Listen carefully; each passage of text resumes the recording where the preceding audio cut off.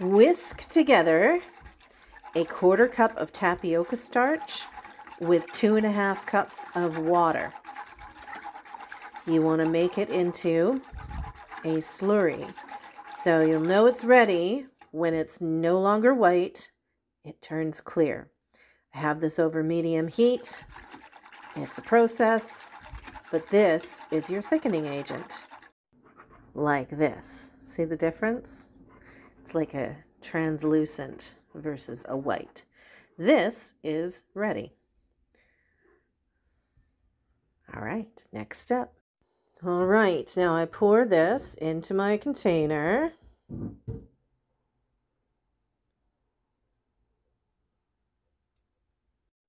Grab me a container of soft tofu and dump that in.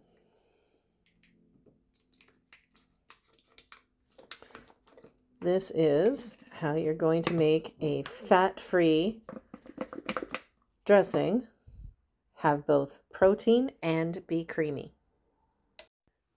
Next is the magic. This stuff is accidentally vegan.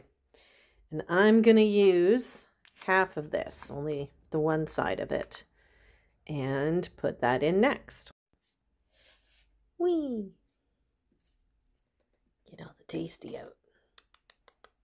Grab your immersion blender, do it in a blender, do it by hand, whatever it takes, but next you blend. And voila, you have quick and easy, creamy, fat-filled, nope, fat-free salad dressing that you can use every day and indulge with lots of it and not feel deprived. And it's got a kick of protein because of the tofu. Ta-da! You could do that with pretty much any seasoning. I just happen to really, really like the Uncle Dan's. It's very nostalgic for me because my mom passed away in 97. Used to use it to make um, dip, so veggie dip. So it's a very nostalgic thing for me. I was a little excited to find out that it was accidentally vegan. Um, used to, that particular flavor used to be called Uncle Dan's Old Southern. Um, now it's creamy dill but it is the same flavor and it is freaking delicious. So there you go.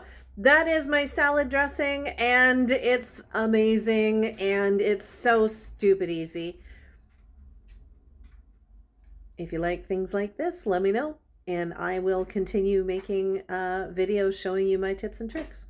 Now, if you want to measure it in MyFitnessPal, what you do is you put the recipe in under recipes. You build the recipe out and then you weigh how much product you end up with and you put the grams of that as how many servings it is.